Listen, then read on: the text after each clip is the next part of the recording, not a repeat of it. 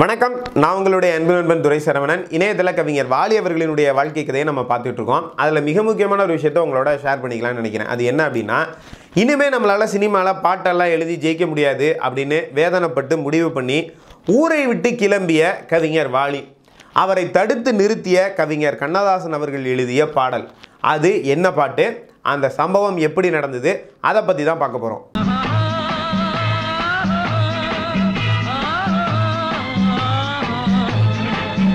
அறிஞர் அண்ணா எம்ஜிஆர் கூட்டணியில் வெளிவந்த நல்லவன் வாழ்வான் அப்படிங்கிற படத்தில் போராடி ஒரு வாய்ப்பை வாங்கி சிரிக்கின்றாள் இவள் சிரிக்கின்றாள் அப்படிங்கிற பாடலை வாலி அவர்கள் எழுதிடுறாரு.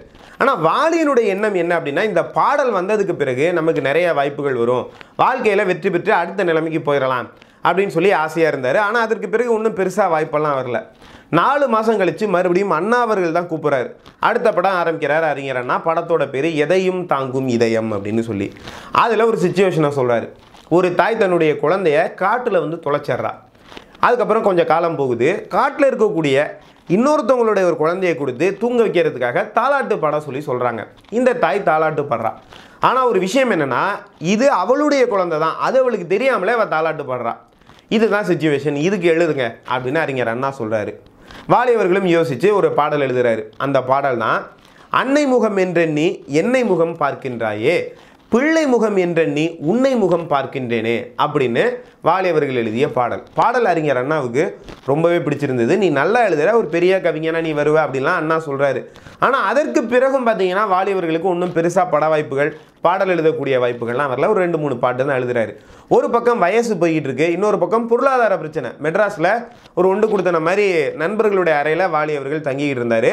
இப்போ வாடகை பணம் கொடுக்கணும் தினமும் சாப்பிடணும் ஊருக்கு பணம் அனுப்பணும். இப்படி எல்லாருக்கும் இருக்கிற மாதிரியான அந்த தேவைகள் அவருக்கும் இருந்தது. சமாளிக்க முடியலை. என்னடா வாழ்க்கை எதை நோக்கி போகுது அப்படின்னு புரியாமல் ஒரு மாதிரி வேதனையில் இருந்த காலகட்டத்தில் மதுரையில் இருக்கக்கூடிய நண்பர் வாலியவர்களை கூப்பிட்றாரு. நான் டிவிஎஸ் கம்பெனியில் வேலை பார்த்துக்கிட்டு இருக்கேன். உன்னால் சினிமாவில் இனிமேலாம் ஜெயிக்க முடியாது. எதுக்கு அங்கேருந்து காலத்தை வீணடிக்கிற? இந்த கம்பெனியில் ஒரு நல்ல வேலை இருக்குது. நீ டிவிஎஸ் கம்பெனிக்கே வேலைக்கு வந்துரு. அப்படின்னு சொல்லி நம் நண்பர் வந்து கூப்பிட போக. வாலி அவர்கள் யோசிக்கிறார். நம்மளும் சினிமாவுக்கு வந்து மூணு வருஷமாக முயற்சி பண்ணிட்டோம். ஏழு எட்டு பாட்டு தான் எழுதியிருக்கோம். இப்படியே போனால் வாழ்க்கையை ஓட்டுறது ரொம்ப கஷ்டம். பேசாமல் இந்த லட்சியத்தெல்லாம் ஓரங்கட்டி வச்சுட்டு மதுரைக்கே போயிடுவோம் அப்படின்னு சொல்லி முடிவெடுக்கிறாரு. முடிவு எடுத்தோன்னே ரூமுக்கு வந்து தட்டுமுட்டு சாமான்கள் மூட்டை முடிச்சு இது எல்லாத்தையும் எடுத்து வாலி அவர்கள் கட்டிக்கிட்டு இருக்கிறாரு. மதுரைக்கு கிளம்பி போகிறதுக்காக பொதுவாக கவிஞர்கள் எல்லாம் பழைய பாட்டு புத்தகங்கள்லாம் வச்சுருப்பாங்க. அதாவது அவங்க ஆரம்ப காலத்துலேருந்து எழுதின பாடல்களை எல்லாம் பத்திரமா வச்சுருப்பாங்க. இது எதுக்குன்னா ஏதாவது ஒரு இசையமைப்பாளரோ இயக்குனரோ எதிர்ச்சியாக சந்திச்சா அவங்கள்ட்ட காமிச்சு வாய்ப்பு கேட்கறதுக்காக இப்படி வாலிபர்கள் எழுதின பழைய பாட்டு புத்தகங்கள் காகிதங்கள் நோட்டுகள் இது எல்லாத்தையும் எடுத்து ரொம்ப வேதனையோட மூட்டை கட்டிக்கிட்டு இருக்கிறார். ஏன்னா மூணாண்டு காலம் சென்னையில் வந்து இருந்து சினிமாவில் ஒரு கவிஞராகணும் அப்படின்னு வாலியவர்கள் போராடுறாரு. அந்த போராட்டம் முழுமையாக தோல்வி அடைஞ்சிருச்சு இன்னைக்கு தான் அவர் சென்னையில் இருக்கக்கூடிய கடைசி நாள். இதுக்கப்புறம் மதுரையில் கிளம்பி சாதாரண ஒரு மனிதரை போல மாச சம்பளத்துக்கு வேலை பார்க்க போறார். இதையெல்லாம் யோசிச்சுக்கிட்டு வேதனையோடு அவர் கிளம்பிக்கிட்டு இருந்த நேரத்தில் எதேழ்ச்சியாக அந்த அறைக்கு ஒரு பின்னணி பாடகர் வந்து சேர்கிறார். அவர் யாருன்னா பிபி சீனிவாஸ். அவர் வாலியினுடைய நெருங்கிய நண்பர்களில் ஒருத்தர். ஆரம்ப காலத்தில் சென்னையில் வாலி அவர்கள் கஷ்டப்பட்டுக்கிட்டு இருந்தபோது அவருக்கு உதவி செய்த நபர்களில் பிபி சீனிவாஸ் அவர்களும் ஒருத்தர். எனக்கு ஏதாவது அப்பப்போ உதவி அஞ்சு பத்து வேணும் அப்படின்னா நான் போய் பிபி சீனிவாஸ் வீட்டில் தான் நிற்பேன் அப்படின்னு வாலி அவர்களே சொல்லியிருக்கார். இப்போ வாலி அவர்கள் ஊருக்கு கிளம்ப போகிறதுனால பிபி சீனிவாஸ்கிட்ட பேசிகிட்டு இருக்கும்போது எதிர்த்து ஒரு விஷயத்தை கேட்குறாரு நீங்கள் சமீபத்தில் ஏதாவது ஒரு பாட்டு பாடினீங்களா அப்படின்னு சொல்லி. பிபி சீனிவாஸ் சொல்கிறாரு நான் நேற்று தான் கவிஞர் கண்ணதாசன் எழுதுனா ஒரு பாடலை பாடினேன். வரிகள்லாம் ரொம்ப அற்புதமாக இருந்துச்சு அப்படின்னு சொல்கிறாரு இப்போ வாலி அவர்களுக்கு மனசில் ஒரு ஆசை என்னென்னா அந்த வரிகள் எப்படி இருக்குன்னு தெரிஞ்சுக்கணும்னு சொல்லி அந்த பாடலை பாடி காமிங்க கேட்போம் அப்படின்னு சொல்கிறாரு பிபி சீனிவாஸ் அவர்களும் கவிஞர் கண்ணதாசன் எழுதிய அந்த பாடலை வாலிகிட்ட பாடி காமிக்கிறார். இது என்ன மாதிரியான ஒரு தருணம் அப்படின்னு சொன்னால் வாலியவர்கள் உச்சக்கட்ட வேதனையில் உறவிட்டு போகிறோமே அப்படிங்கிற ஒரு கவலையில் இந்த பாடலை கேட்டுக்கிட்டு இருக்கிறாரு. இந்த பாடல் அவர் கேட்டார் காதில் அப்படின்னு சொல்கிறத விட இந்த பாடல் கொஞ்சம் கொஞ்சமாக அவரோட பேச ஆரம்பிக்குது. கவிஞர் கண்ணதாசன் எழுதிய வரிகளை கேட்க கேட்க அவருடைய மனசில் இருந்த பாரம் எல்லாம் குறைஞ்சு புதிதாக ஒரு உத்வேகம் பிறக்குது வாழ்க்கையில் ஒரு பிடிப்பு கிடைக்குது. நம்ம ஊரை விட்டு போகாமல் சென்னையில் இருந்து இன்னும் கொஞ்ச நாள் போராடுனா ஒரு பெரிய கவிஞனாக முடியும் அப்படிங்கிற நம்பிக்கை வருது. ஊரை விட்டு போகணும் அப்படிங்கிற முடிவை மாற்றிக்கிறாரு உண்மையில் சொல்லப்போனால் இந்த சூழ்நிலையில் கவிஞர் கண்ணதாசனுடைய பாடலை கேட்கல அப்படின்னு சொன்னால் வாலி அவர்கள் ஊரை காலி பண்ணிட்டு மதுரைக்கு போயிருப்பாரு. வாலி அப்படிங்கிற ஒரு கவிஞர் வரலாறுல இல்லாமலே போயிருப்பார். இப்படி வாலியினுடைய வாழ்க்கையில் மாற்றத்தை ஏற்படுத்திய அந்த கவிஞர் கண்ணதாசன் எழுதிய பாடல் எது தெரியுமா? மயக்கமா கலக்கமா மனதிலே குழப்பமா? பாலி அவர்கள் இந்த பாடலை பற்றி என்ன சொல்றாரு அப்படின்னு சொன்னால் சோகமான மனநிலைமையில் இருக்கிற ஒருத்தங்கிட்ட ஆறுதல் சொல்கிறதுக்காக ஒருத்தன் வரும்போது அவங்க ரெண்டு பேருக்கு இடையில நடக்கக்கூடிய உரையாடல் மாதிரி அந்த பாட்டே வந்து அந்த பாட்டு எழுதின கவிஞரே வந்து நம்மளோட பேசுகிற மாதிரியே இந்த பாடல் இருக்கும். அப்படின்னு சொல்லி வாலி அவர்கள் சொல்கிறாரு யோசிச்சு பார்த்தோம்னா அந்த பாட்டு அந்த மாதிரி தான் இருக்கும். இப்போ நம்ம ஒரு சோகமான மனநிலைமையில உட்காந்துருக்கோம்னு வச்சுக்கோங்களேன். நமக்கு ஆறுதல் சொல்ல வரவங்க என்ன பண்ணுவாங்க? என்னப்பா? எதுவும் பிரச்சனையா? அப்படின்னு தான் முதல்ல கேட்பாங்க. அப்படி தான் இந்த பாடலும் தொடங்கும். மயக்கமா கலக்கமா மனதிலே குழப்பமா வாழ்க்கையில் நடுக்கமா? இப்படி தான் ஒரு கேள்வி. இப்படி யாராவது நம்மள்ட்ட கேட்டால் என்ன சொல்லுவோம் ஆமாயா ஒன்றும் சரியில்லை. வாழ்க்கையே போராட்டமாக இருக்குது பிரச்சனையாக இருக்குது. அப்படின்னு சொன்னால் ஏத்தாப்பில் இருக்கிறவங்க என்ன சொல்லுவாங்க? பா வாழ்க்கைன்னா அப்படி தான் அப்படி தானே முதல்ல ஆரம்பிப்பாங்க. அப்படி தான் இந்த பாடலில் பதில் இருக்கும். வாழ்க்கை என்றால் ஆயிரம் இருக்கும். வாசல் தோறும் வேதனை இருக்கும். வந்த துன்பம் எதுவென்றாலும் வாடி நின்றால் ஓடுவதில்லை. வாழ்க்கைன்னா அப்படி தான் இருக்கும். உனக்கு துன்பம் வந்துருச்சு அப்படிங்கிறதுனால நீ உட்காந்து வருத்தப்பட்டுக்கிட்டே இருந்தால் அந்த துன்பம் உன்னை விட்டு போக போகிறதில்ல அப்படின்னா நான் என்ன பண்ணுறது அப்படின்னு கேட்டால் அதுக்கு அடுத்த வரியில் பதில் வச்சுருப்பார் கவிஞர் கண்ணதாசன்.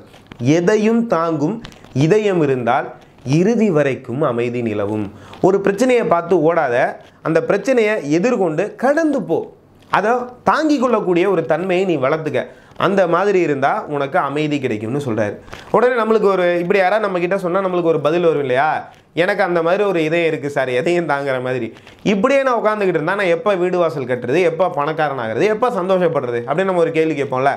அடுத்த வரியில அதுக்கான பதில கவிஞர் கண்ணதாசன் வச்சுருப்பார். ஏழை மனதை மாளிகையாக்கி இரவும் பகலும் காவியம் பாடு. நீ மனசளவில் சந்தோஷமாடுறா நீ மனசளவில் பணக்காரனாரு அதுக்கு ஒன்றும் பெருசாக காசு பணம் தேவையில்லையே. அப்படின்னு ஒரு பதில் சொல்லுவார். சரி நான் அப்படி மனசளவில் சந்தோஷப்படுறேன் மனசளவில் பணக்காரனாக இருந்தால் என்னுடைய நாளைய பொழுது என்ன ஆகும் என்னுடைய எதிர்காலம் என்ன ஆகும் அப்படின்னு நம்ம ஒரு கேள்வி கேட்குறோம். அதுக்கு அடுத்த வரியில் பதில் இருக்கும்.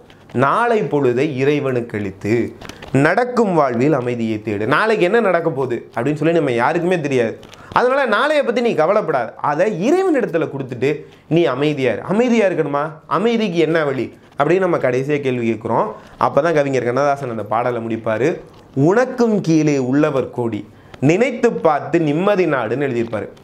இப்படி மனவேதனையில் ஒரு சோகமான மனநிலைமையில் இருக்கிற ஒருத்தரோட இன்னொருவர் வந்து பேசுகிற மாதிரியே கவிஞர் கண்ணதாசன் இந்த பாடலை அற்புதமாக இணைச்சு இணைச்சு எழுதியிருப்பாரு அப்படின்னு சொல்லி வாலியவர்கள் சொல்கிறார் இந்த பாடலை கேட்டதற்கு பிறகுதான் தான் வாலியவர்களுக்கு வாழ்க்கையில் ஒரு நம்பிக்கை பிறந்து மறுபடியும் சினிமா துறையில் போராடி ஒரு பெரிய கவிஞராக வந்தார் இன்னும் சொல்ல போனால் கண்ணதாசனுக்கு போட்டியாகவே இவர் வந்து வந்தார் யோசிச்சு பார்த்தோம்னா கண்ணதாசன் எழுதின அந்த பாடலை இவர் கேட்கலன்னா ஊரை விட்டு போயிருப்பார். கண்ணதாசனுக்கு சினிமா துறையில் போட்டிக்கு ஆளே இல்லாமல் போயிருக்கும். ஆனால் தனக்கான போட்டியாளரே கவிஞர் கண்ணதாசன் அவர்கள் எழுதிய பாடலே உருவாக்கியது அப்படின்னு சொல்லலாம். ஆரம்பத்தில் இவங்க போட்டியாளர்களாக இருந்தாலும் பின்னால் நெருங்கிய நண்பர்களாக மாறிவிட்டார்கள். ஆரோக்கியமான போட்டி இருந்த போதும் ஒரு ஆழமான நட்பும் இருந்தது. ஒரு நாள் உட்காந்து கண்ணதாசனும் வாலியும் பேசிகிட்டு இருக்கும்போது வாலி சொன்னாராம் உமக்கு தொழில் போட்டியா?